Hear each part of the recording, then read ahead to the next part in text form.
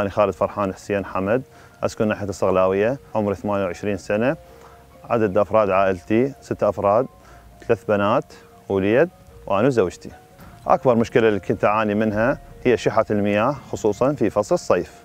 أكثر شيء تعلمته من خلال هذا التدريب هو تقليل نسبة استهلاك المياه لمقاومة التغيير المناخي. من خلال المنحة المقدمة من منظمة البصيرة العالمية قدرت أشتري منظومة الري الحديث لتساعدني على تقليل استهلاك المياه.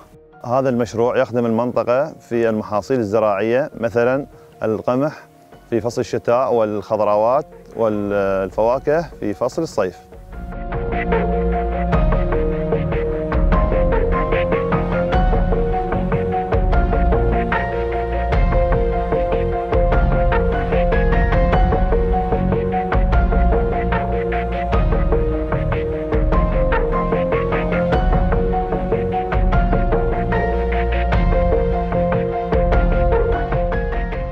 اللي كنا نعاني من عنده شحة المياه وهسه إن شاء الله يعني قدرنا إن نتخلص من هذه المشكلة بالري الحديث مثل المرشات العصفورية. هذا المشروع كان متعاون ويساعدنا في كل مراحل المشروع.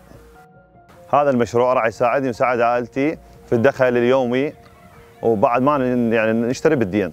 أقدم شكر منظمة البصيرة العالمية ومنظمة ال UNDP على هذا المشروع الناجح اللي راح يغير حياتنا.